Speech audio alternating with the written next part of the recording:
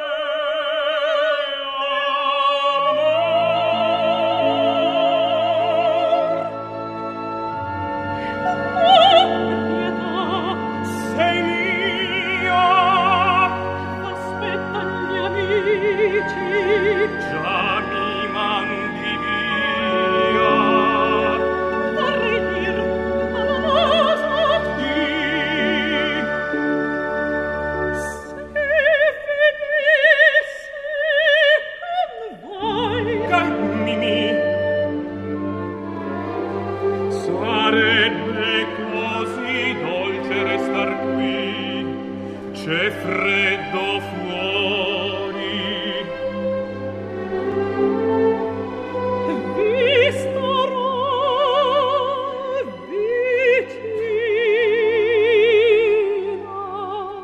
E al ritorno? Curioso!